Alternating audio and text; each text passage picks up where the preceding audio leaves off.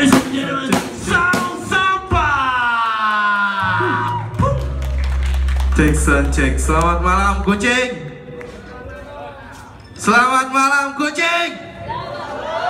Lemas banget ya. Ulangi lagi. Selamat malam kucing.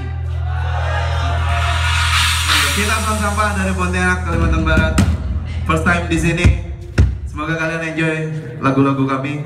Lagu pertama untuk kalian yang galau kalau bahasa Indonesia bilang galau. Sini mungkin bilang sedih, kecewa sama agama, sama pasangan, sama status laki-laki atau perempuan mungkin jadi bencong.